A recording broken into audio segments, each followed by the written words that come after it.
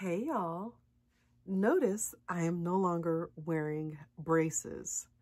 If you are interested in hearing about my adult braces journey and some do's and don'ts or maybe some things that you should know if you are a woman of a particular age or even a man of a particular age and you're interested in getting adult braces, please listen and stay tuned. I got braces four years ago in October of 2016.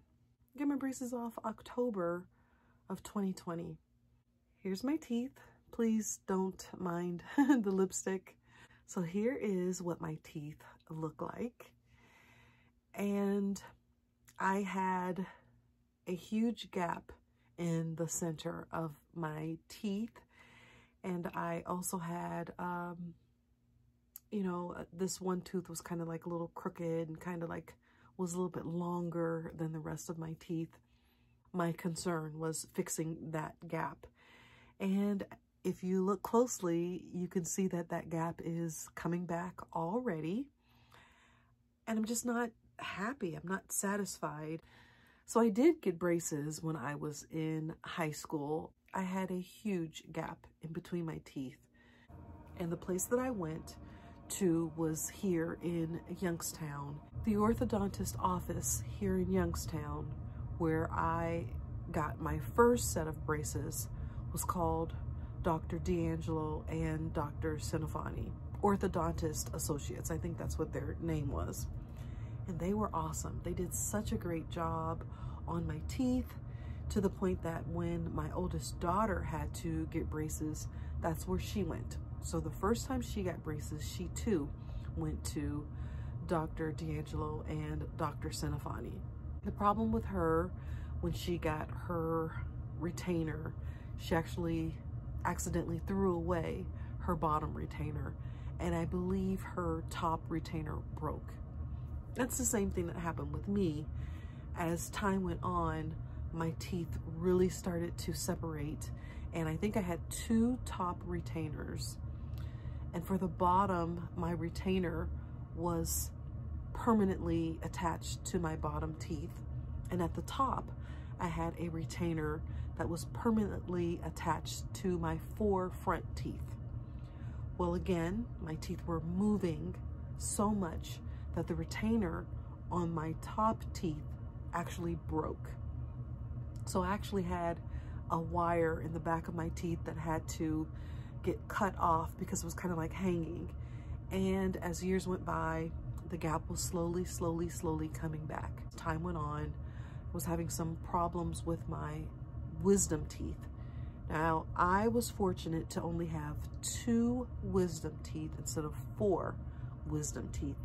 I got those two wisdom teeth removed. I'm gonna go ahead and get braces again. But I was living in Akron, so I decided to go to an orthodontist in Akron instead of going to an orthodontist here in Youngstown. There's an orthodontist in the Akron area that is low cost. It's very reasonable.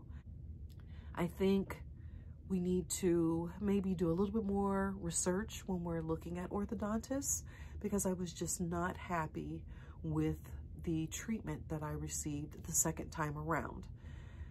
As adults, our gums are receding and they're not the same as when we're younger.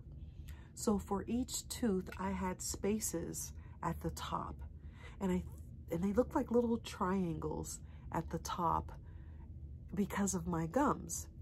And this is very common for adults to have. And they're actually called, I think it's air pockets or whatever they're called. Whatever they're called, I'm going to make sure that I put the name because I think it's very important that if you are an adult and you are considering getting braces, you need to know that this may happen to you having the little spaces between each teeth right by your gum line. And I had that also for my bottom teeth as well. And that was something that my orthodontist never discussed with me. Each time when I went to the orthodontist, there was new staff you know, just so many red flags that you can't even keep staff. It wasn't modern.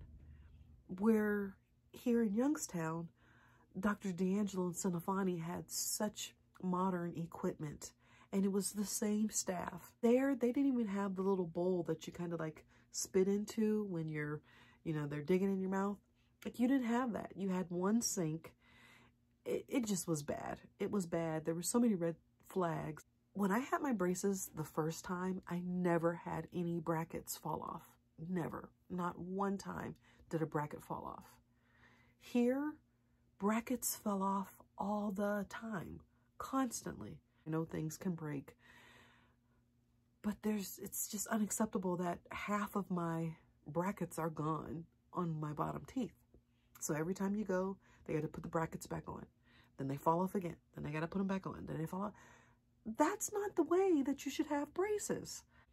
Meanwhile, my oldest daughter, now she's, you know, almost 30 she decides to get braces again because she is noticing that her teeth were shifting. And she was smart enough to go back to the orthodontist here in Youngstown. And she only had her braces, I think, for half of a year. And I had mine on before her. She got hers off before me. Her fiance also got braces on. He got his taken off before me. So I got mine on first and I literally was the last one to get mine off. Her teeth look beautiful. His teeth look beautiful. And I will admit my teeth look beautiful as well. But just to get to this point was just not a good experience. And to see how fast my gaps are coming back again, it's just ridiculous. I wear my retainers all the time, except when I'm eating. And I don't have them on right now for the purpose of this video. So this is what my retainers look like. They look like Invisalign and I keep them in a dentures case. I actually clean them every day. I use these denture cleaning tabs that I purchased from the Dollar Tree. These were only a dollar.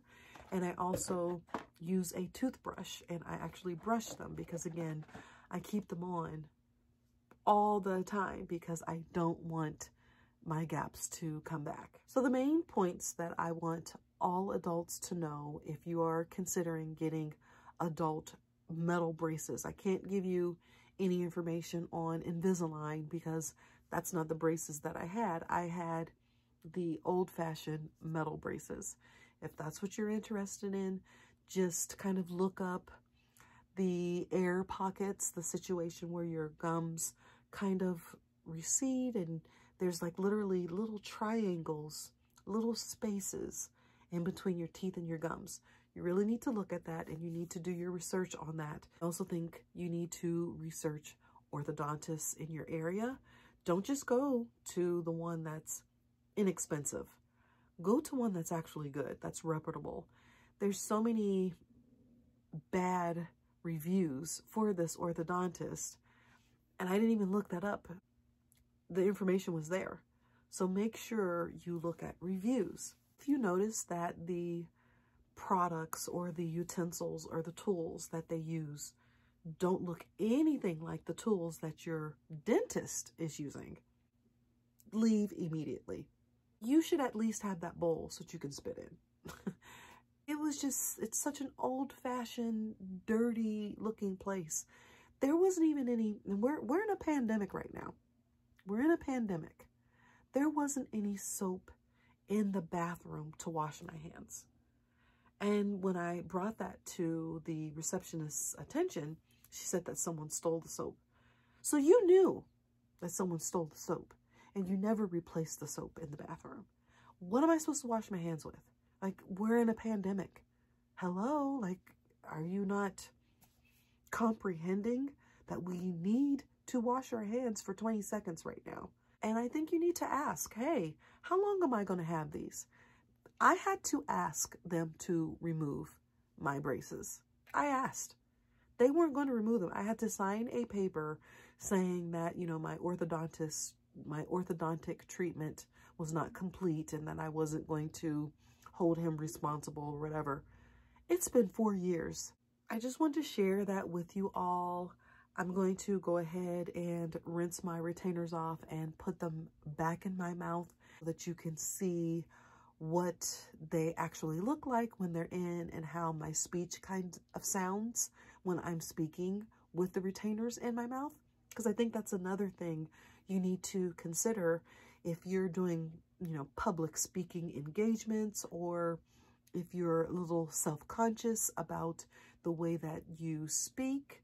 I think that that's something that you need to think about because if you get these types of retainers, the retainers that I was given, your speech is going to sound a little wonky.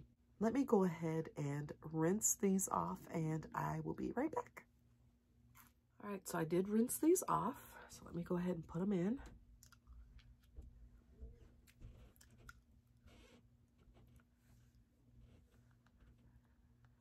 Okay, so they're in.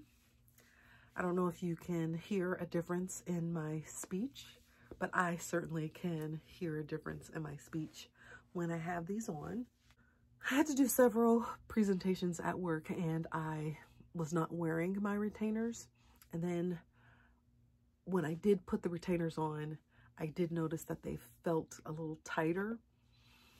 But other than that, um, I don't notice anything because I keep these on pretty much all day, all night. I sleep with them. I only take them off when I'm eating. I can even drink hot tea with these on. And I drink my sea moss with these on as well. And I really haven't had any problems with the retainers on. But um, this is what they look like. And, um, you know, my, my bite isn't perfect. But it'll do. And I get my teeth cleaned next month in January by my dentist. That is my story regarding my adult orthodontia treatment. If you have any other questions for me, please go ahead and leave them down below in the comments section. Give me a thumbs up on this video and of course subscribe to my channel. And thank you so much for watching this video. And I will see you tomorrow. Bye.